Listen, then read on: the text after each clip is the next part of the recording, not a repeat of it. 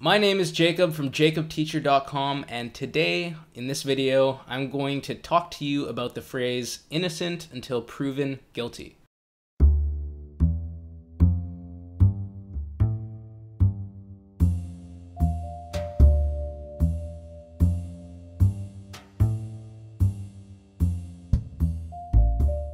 Now, there's a special reason why I'm going to talk to you about this phrase very recently on the Late Show with Stephen Colbert, Stephen Colbert he made a joke using this phrase. He took this phrase and he kind of played with the language a little bit and he made everyone laugh. So in this video, we're going to look at what he said. I'm going to kind of explain the joke, explain what he did, and I'm going to help you understand this phrase because it's a very common English phrase. We use it when we're talking about law and it's a very, very important phrase to know. So hopefully by the end of this video, you'll have a better understanding of how it is used in English. We're going to look at what Stephen Colbert said, but first, I want to kind of give you some background about what he's talking about in the video that I'll show you. There's a very well-known man in America. He's the host of a news show on Fox News, on the Fox News channel, and it's called The O'Reilly Factor. His name is Bill O'Reilly.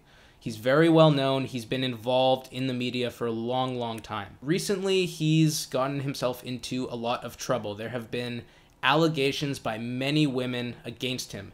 Many women have come forward and said that he has sexually assaulted them. So he's in a lot of legal trouble right now. There are a lot of things going on. Um, a lot of companies that sponsored his show, The O'Reilly Factor, They've pulled their sponsorship. They're no longer giving the, his show any money because of what's going on. So he's just in a lot of trouble. And actually, just last Saturday, the New York Times reported that five women received settlements from O'Reilly or Fox News Channel parent company 21st Century Fox that totaled $13 million.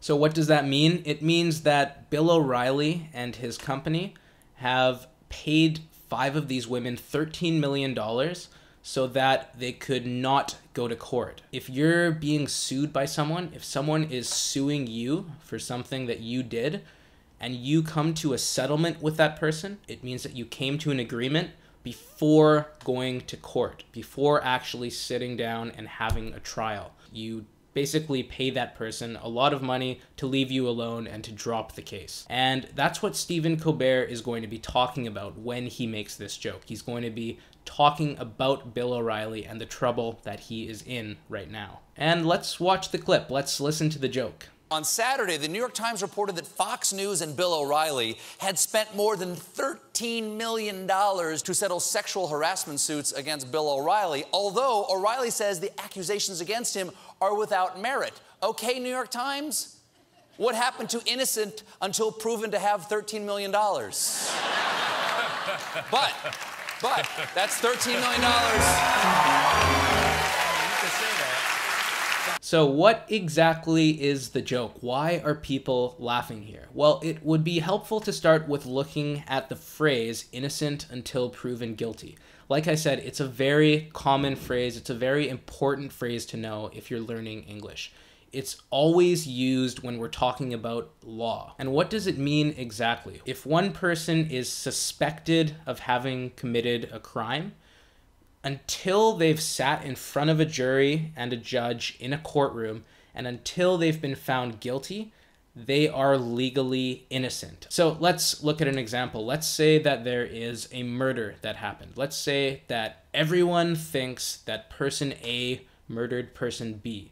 And let's say that there is a lot of good evidence that suggests that person A did in fact murder person B even if all of this is true, even if there is all of this evidence that suggests that person A murdered person B, until person A sits in front of a judge and a jury, and until that jury decides that person A did in fact murder person B, person A is considered innocent. They are innocent until they are proven guilty in a court of law. So that is what that phrase means. So what's the joke here? What is so funny about what Stephen Colbert said? Well, let's go back and take a quick look. What happened to innocent until proven to have $13 million? Bill O'Reilly is saying that he did not do any of the crimes that he's being accused of. He's saying that he did not sexually assault any of these women that are saying he did. That the accusations against him are without merit. That's what that means. But at the same time, Bill O'Reilly and the company that he's working for, they've already paid five of these women $13 million. So, what Stephen Colbert is doing is he's suggesting that Bill O'Reilly would not have paid these women $13 million. He wouldn't have paid these women so much money if he truly didn't do anything wrong. The reason the joke is funny, the reason people are laughing so hard, is because he's playing with the language in an unexpected way.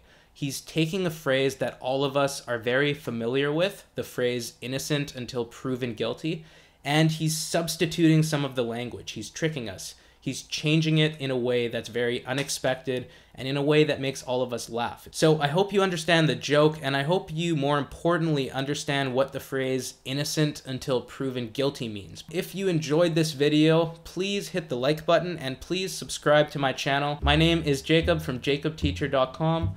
I hope you have a wonderful weekend, and I will see you in the next video. Bye bye.